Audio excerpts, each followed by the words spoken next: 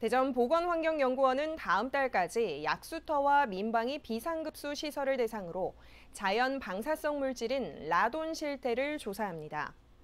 연구원은 올해부터 라돈이 먹는 물 수질 감시 항목으로 신설됨에 따라 먹는 물의 안전성을 확인하기 위해 약수터와 민방위 비상급수 시설 144곳을 대상으로 전수조사를 추진하기로 했습니다. 조사 결과는 시9회 통보될 예정이며 수질 기준을 초과할 경우 유관기관과 협의해 저감 설비의 설치 또는 폐쇄 등 적절한 조치를 취해 나갈 계획입니다.